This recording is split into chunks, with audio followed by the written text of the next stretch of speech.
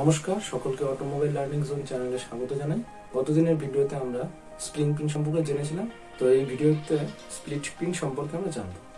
Split পিনের ছবি স্ক্রিনে দেওয়া হলো। এর থেকে আমরা বুঝতে পারব এর আকারগুলি এরকম হয়, বিভিন্ন টাইপের এই স্প্লিট পিনের মাধ্যমে রোটেটিং কোনো পার্টস যেটি তার অরিজিনাল পজিশন থেকে মুভ হয়ে যেতে পারে এবং তার ফলে জিনিসটি নষ্ট হয়ে যেতে পারে বা বেরিয়ে যেতে পারে।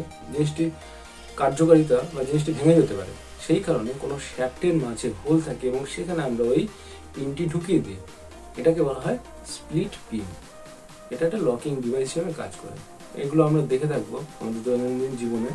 এটির উপাদান খুবই শক্ত হয়, কারণ এটিকে চাপ সহ্য করতে হয়। ভেতর থেকে চাপ বাইরের দিকে আসে এবং বাইরের থেকে চাপ ভেতর দিকে আসে। সেই কারণে এটিকে শক্ত হতে। এটা সাধারণত পিতল, স্টিল, শঙ্কর ধাতু দিয়ে তৈরি হয়।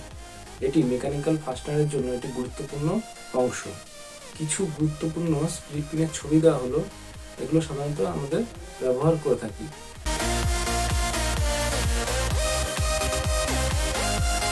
এই ভিডিওটির মাধ্যমে আমরা স্প্লিট পিন সম্পর্কে সংক্ষেপে জ্ঞান অর্জন করতে পারলাম। ভিডিওটি ভালো লাগলে লাইক এবং সকলকে শেয়ার করো। Thank you